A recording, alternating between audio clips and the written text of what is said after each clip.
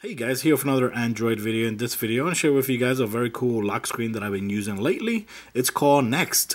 And this lock screen is from Microsoft, yes, here on the Android store. Uh, so first of all, let's go ahead and show you guys how this lock screen works. Um, this is one of those lock screen that when you move from location, it actually changes as well. Like you see here, you got on the go, you got at work, you got at home again. And it recognizes your location based off for example on your Wi-Fi. When you hook up to your Wi-Fi boom automatically knows that you're at home. Or when you're on the car automatically changes to on the go and all that. Um, still I think this app is still in beta so keep that in mind. Uh, another cool feature that it has here is that when you slide up uh, when it's down like this you can see the first five apps which is very good because all you got to do is uh, tap on one of them and it will automatically launch the app. Like you see there. But let's go ahead back. Let's go ahead close over here. And let's go ahead open again.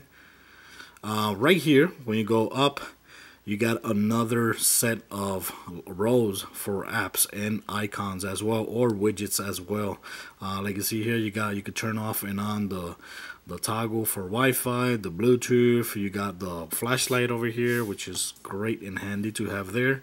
Uh, here you got the alarm, which you can set it up. But let's say you want to go ahead and change uh, these app. You, you could do is tap and hold, and it, they will automatically start wiggling. Or you could tap right there, and from here you could go ahead. For example, let's say I want to eliminate this app, and let's say I want to eliminate. Uh, let's say I want to eliminate that app now let's go ahead and add some apps. Uh, right here you're going to have a list of apps that you have installed. We could go ahead and install it. Go ahead there and go WWE. Click right there and now you got the apps right there. Like you see there.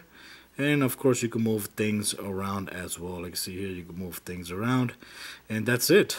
Um, and keep in mind every time you switch location the apps will also switch as well. Like see there on the go, you get um, apps that are, related to on the go. Like for example, you got the maps.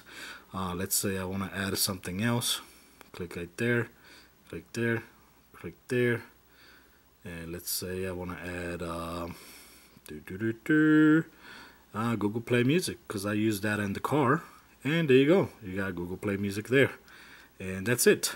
Uh, let's go ahead here for settings uh, in wallpaper, you can actually change the wallpaper of every location. At home, you can change the wallpaper on the go and at work. Here, let's go ahead and tap on on there and when you tap there you're gonna have some wallpapers that are set by default here on the app and you go click there uh, you can add it to work mode all mode or cancel work mode and there you go now you have it in work mode if you go to work mode so switch like that.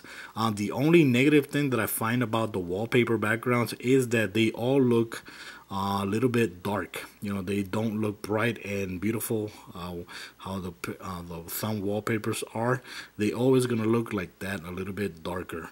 But if you if you're type of people that like apps like that, wallpapers to look like that, you might like it as well. Might not bother you, but you can also get pictures from your Zedge app or from your gallery as well. So if you have pictures in your gallery that you want to choose from, you can also do that as well. Let's go ahead and change the wallpaper to something road related like right there that's very road related and of course you could go ahead and move the camera there boom boom work mode and there you have it that's it um, over here of course you could turn on or off the next lock screen here uh, you can also see your meetings. When there's a meeting coming up, you can also see it in your lock screen. So when there's a meeting or a text message, you're to see all those messages here on the lock screen, which is very cool as well. Let's go swipe up, go up. And that's it. Like you see there, this app is very, very simple. Here you got an advanced mode. Uh, you can hide apps from appearing, ever appearing on there on the lock screen. Or here you got manage calendar cards. Here you can go ahead and set up what calendar you want um, for it to appear on the on the lock screen and show SMS. Make sure you have it selected on. That way when you receive SMS and you got missed SMS, uh, you're gonna see it all here in your lock screen which is kind of cool. It works very nice. So guys that is it. This app is totally free so I see no reason why not to try it. Um, but keep in mind it might still be in beta. I, I don't know but I think it's still in beta uh, there's still some things they can improve like for example give us an option to to make the picture look uh, completely clear or dark or control the level of darkness however you want to uh, control the level of the wallpaper. Um, other than that I think this app works pretty good. This lock screen works pretty good and it's totally free so I'm gonna leave a link in the description. That way you guys can go ahead and try it yourself. Till next time guys